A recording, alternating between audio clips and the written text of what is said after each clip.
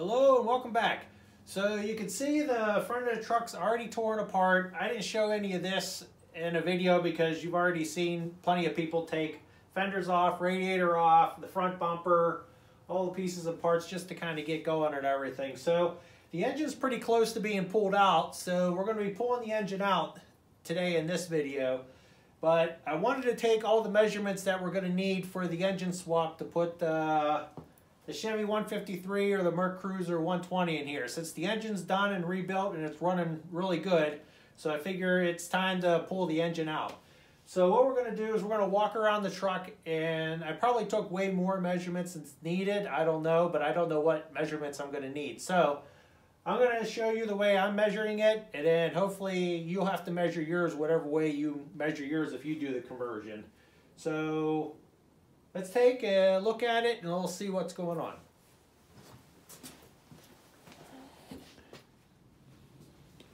So the first thing I did is you could see I have a plumb bob. I have it from here going up to the ceiling and I have it hanging down. So this actually is lined right up with the dead center of the crank coming down. So I have the center line of the engine with just a plumb bob from the, the ceiling hanging straight down. So that should get us our center point of the crank. So when we put the other engine in, well, our center line will be right here. So I'm going to be doing a lot of reference points the whole way around so we can kind of put everything in the right way. So first one would be the front um, front of the uh, crank because really if you think about it the crank of this engine is going to be the same position as the crank of the of the Chevy engine or any swap that you do really. It should actually all be in a line together. So we're good with there. So we got that. The next thing that I have is I don't know if you ever seen one of these but it's called a protractor a magnetic based protractor. I've had this for many years for adjusting things. You can see it tells you your angle from these two edges right here. So first thing I'm going to do is I put it onto the water pump, well, thermostat housing, because really the head has no flat spot. So I wanted to get at the flat spot of the head, and that's the flattest I could get. So I figure if that's flat, this is flat, and then this is flat, this should get us pretty close. So right now, we're at zero degrees right now. I had the truck is sitting actually pretty level, and surprising it is. I do have jack stands underneath it just so the end this whole the whole truck doesn't move while I'm working on it. But I really only jacked it up maybe like a, a little smidge on here, maybe half an inch or so. But the engine right now is sitting horizontal this way. So we'll say we're horizontal zero degrees right here. So if we come over here to the manifold over here, said I think I said it like this whenever I did it. So this one way we're sitting just about one degree, maybe even a half a degree past zero. This going, can't hold it good, going this way here is about, about a half a degree is where we're sitting. So then I went down here too. You can see there's a flat spot here and kind of a flat spot here too. So you can kind of stick this in between. Let me see if I can get that. And that got us, again, we're just about one degree tilted a little bit here. So the engine's tilted a little bit, like we'll say if I, this is extreme, but if we're sitting like this, so it's tilted maybe like a one degree this way. Okay, so we're tilting this way. So we got the engine here, we got those degrees. So now we're gonna go down underneath and we're gonna measure the underneath where the transmission is. So now we're sitting down here underneath the truck. Here's the transmission bell housing right here, drive shaft, transfer case right here, whatever. It's kind of dark down here, but I tried to get some light down here. So actually in old instructions of the original Scotty was there's actually a scanned copy on the internet that I found. And it actually told me to put, says to put a piece of block of wood right here to keep the transmission from moving. So what I did is I took a pair of calipers, I measured the height right here, and I got um, a measurement of about 1.835 inches, which is probably a real wacky number for right here in this space or whatever, but this block of wood measures just probably just a smidge below that or almost exact. So I stacked up some wood and just kind of hammered them together. So now this piece of wood fits right underneath the transmission like that. So that'll give us a spacer for underneath to get the transmission at the right height. And this should be good enough to get us in a position height-wise with the with everything. So that gets our transmission going up and down. So then if we move back here to the back, oh, I gotta get my protractor. I'll be right back. So if we move, we got the protractor now. So if we move back here to the, position the light. If we move back here, and then our handbrake here, we're at, from what I can tell too, we're still, let's see here, if you can even see that. You probably can't really see it very good. But when it hangs, it's just about, again, almost like a half a degree towards this way again. It's toward that way, it's tilted. So it's just tilted a little bit so we can get our, our engine in a proper position on uh, using the handbrake. So it got us our angle this way too to confirm the front that we're at about a half a degree from the engine here. It's tilted a little bit. So let's go to our next measurement. So now we're inside the truck. I took all the floor pans out and uh, cover the transmission cover tunnel. So the next measurements we're going to take are inside the engine, inside here. So again, I took the protractor. Uh, it's probably remeasuring a lot of these things, but you probably don't have to, but I did anyways. Just so I can have more, more than just one place. So again, to confirm those other numbers, we're just about at half a degree again. Even here, we're at like another half a degree. So it seems to be all of our numbers are coming in pretty close to being about a half a degree off than zero. So then I took it this way, and I turned it this way on that plate. And we're right at zero degrees here too. So our transmission is sitting horizontal too, just the same as the engine is in the front off the thermostat housing. So this confirms that. So that's good. So next thing is we're going to get a ruler to measure down here.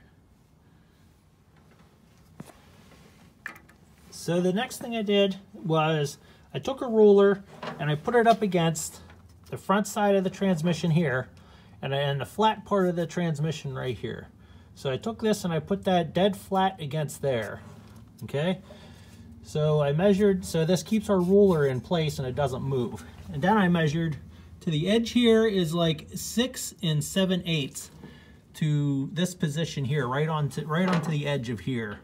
So I put a mark with a Sharpie here, so I marked everything right, so I didn't, so I put that in the exact same spot where it was before, and it's dead flat, and I wrote down all these numbers so I wouldn't forget them, and I think, think it was six and seven eighths, it was right almost dead on to that mark right there. But again, these measurements you're going to have to take on your own. These are not for every truck. This just happens to be for mine. So this is just how I'm doing mine. So I got the left-hand side. Well, uh, would be the, yeah, left-hand side on this side. So let's go over to the right-hand side and make a measurement next. Now we're over on the right-hand side. I couldn't find anything It was nice like the transmission tunnel on the other side, the side of the transmission that was flat or I couldn't get any place that would work so I could put my ruler in exact spot. So what I did was, is I took this over here to the 10 mark and on this uh, seat box bracket right here, so I took this to 10 right here and I put this dead against there so it's totally tight onto, so I could push it against here tight and measure it to 10 right here. And you can see it's like 10 is right there onto the frame and it's dead flat against right here. And then I went over here and at the two, I marked it at the two inch mark right here. So then if I line up here with here, straight across, it should come right to the two inch mark on the ruler. So I kind of have it here and here. It should get us right lined up so the transmission's right this way, going this way. So again, I couldn't get into here either to do a good measurement because I want it to be someplace that's like a good reference point so things don't move. So when I take out the engine, put another one in, I can move it around and position it and get everything lined up exactly the same. So, so this is what I did on the right-hand side.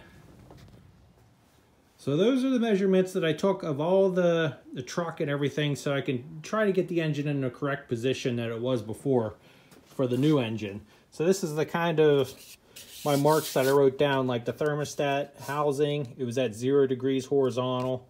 And uh, the motor here, the engine, the intake was about half degree to maybe one degree to zero in between there and horizontally. Then the bell housing, it was 1.3835, basically eight, one and seven eighths would get you pretty close to those numbers, which this number probably isn't even right anyways, but it's close to being dead on with our block of wood that we put in. So again, hand is about, the handbrake drum is a vertical about zero degree or maybe about one degree. Pretty much the same to that. The tilt was on there. Actually, I'll mark that on there right now. Approximately one degree. Same thing here. I'll do approximately one degree on that too.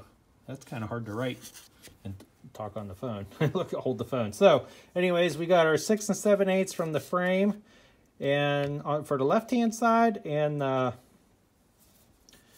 in the bell housing, the transmission bell housing here. Here in the right-hand side, we got our frame at 10, at the 10-inch mark on the frame, flat against the bracket, and then at the 2-inch mark over here onto the transfer case. So there's, I wrote down all the measurements so I don't forget them in the future. So the next thing, we're going to hook up the hoist and start getting the engine out. All right, so I think I got everything disconnected. I got all the flywheel, not the flywheel, the bell housing bolts off. I put a floor jack underneath the transmission just so it doesn't slam down whenever I pull the engine out. So I got it hooked up to the hoist here, and let's see if we can get it out.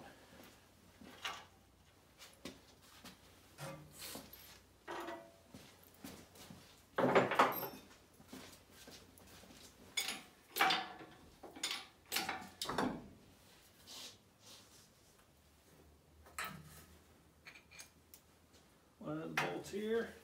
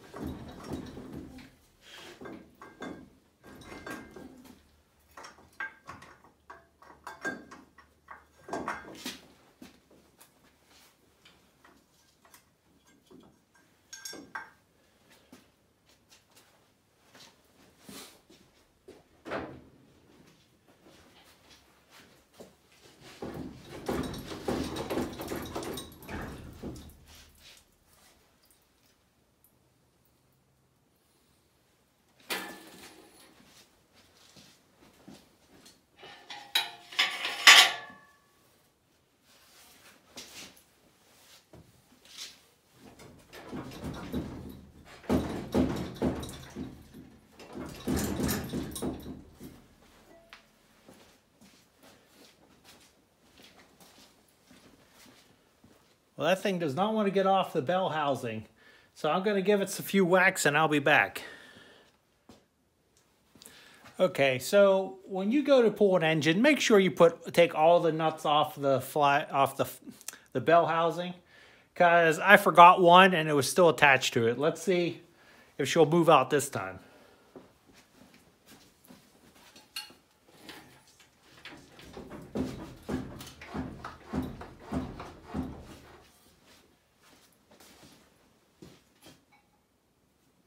go. Now we're moving.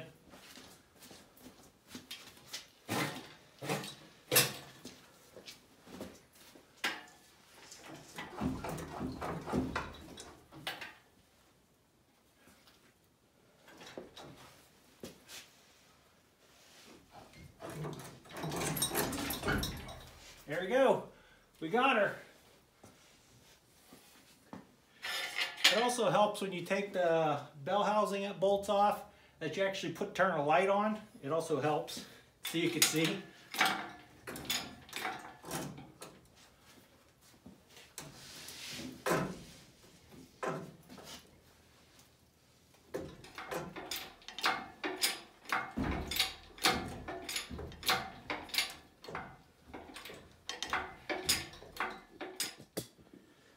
Add-on oil filter over here, it's at, actually in the way.